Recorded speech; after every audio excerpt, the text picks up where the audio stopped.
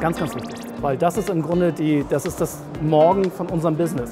Welche Möglichkeiten, welche Optionen gibt es? Wo möchte ich hin? Digitalisierung, nur um der Digitalisierung willen bringt nichts.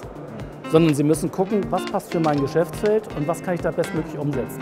Und heute ist, ein, ist, der Blumenstrauß im Grunde aufgemacht worden und ich gucke heute, wo kann man welche Themen für uns adaptieren und wo können wir welche Schritte mit begleiten. Und vielleicht auch mal ganz neue Aspekte, die wir noch gar nicht auf der Fahne hatten, dass man da sagt, ja Mensch, ich gucke da auch mal rein.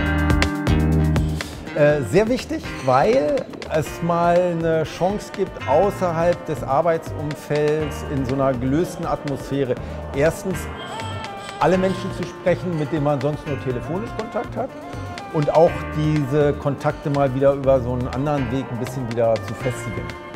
Die sind sehr wichtig, um weitere Ideen zu entwickeln, was wir brauchen, was wir nutzen müssen und wo wir uns verändern müssen und was wir in Zukunft auch angehen müssen.